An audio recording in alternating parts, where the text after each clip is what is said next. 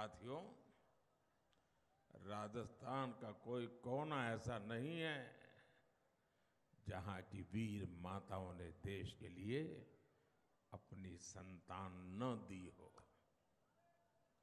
और इस क्षेत्र में भी इतने सारे फौजी परिवार रहते हैं, जब बेटा और बेटी सीमा पर सुरक्षा के लिए जाते हैं तो हर परिवार का सीना चौड़ा हो जाता है। लेकिन कांग्रेस की सरकार ने हमेशा फौज को कमज़ोर बनाए रखने के लिए वही उसकी नीयत रही है। आज़ादी के बाद जो देश का सबसे पहला बड़ा घोटाला हुआ ना, वो भी हमारे देश के वीर जवानों के लिए हमारी फौज के लिए जो खरीदी करनी थी ना, इन्होंने उसमें से भी कट की कर ली थी, इसमें से भी कट की कर ली थी। बफर्स घोटाले को भी ये देश कभी नहीं भूल सकता। कांग्रेस ने सबमरीन में घोटाला किया, कांग्रेस ने हेलीकॉप्टर में घोटाला किया। जल हो, नभ हो थल जहाँ जाओ, कांग्रेस का पंजा एक ही काम करता है। लूटो। और मैं आज आपको बता दूँ, अगर ये कांग्रेस सरकार तेरह में न गई होती तो हमारे तेजस फाइटर तेजस जो फाइटर प्लेन बनाए ना, आज आसमान की ऊंचाइयों को छोड़ रहे हैं, वो तेजस फाइटर प्लेन भी कागजों पर ही रह जाते देश के जवानों को नहीं मिलते। कांग्रेस कभी नहीं चाहती थी कि तेजस अपनी उड़ान भरे।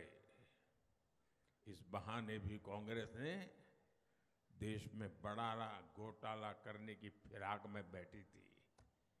अगर हमारा विमान नहीं बनेगा तो बाहर से लाएँगे, कटकी काटेंगे, बस पीढ़ी दर पीढ़ी खाते जाएँगे। साथियों, कांग्रेस ने फौजियों को किस तरह धोखा दिया है? इसका एक उदाहरण वन रैंक वन पेंशन भी है। कांग्रेस सरकार सिर्फ़ 500 करोड़ रुपए रखकर झूठ बोलती थी कि ओआरओपी लाएँगे। और उनके नेता तो एक पूर्व फौजियों के बीच जाकर के फ़ोटो निकलवाते थे। और ऐसा जैसे ओआरओपी आ गया ओआरओपी आ गया। 500 करोड़ रखा था। ये भाजपा सरकार है जिसने आपसे गारंटी की थी वो आरोपी की, वो गारंटी पूरी कर दी, फ़ायदा पूरा कर दिया। जहाँ कांग्रेस सरकार वन रैंक, वन पेंशन पर 500 करोड़ रुपया खर्च करने की बात कर रही थी उनकी सोच भी इतनी सीमित थी। आज हमने लागू करने के बाद नब्बे हज़ार करोड़ से भी ज़्यादा। कितने? जरा बोलिए, कितने? कितने? कितने? नब्बे हज़ार करोड़ से ज़्यादा मेरे जवान परिवारों को पहुँचा दिए हैं जब नीयत साफ़ होती है, जब इरादे नेक होते हैं तो काम भी ऐसे मजबूती से होते हैं।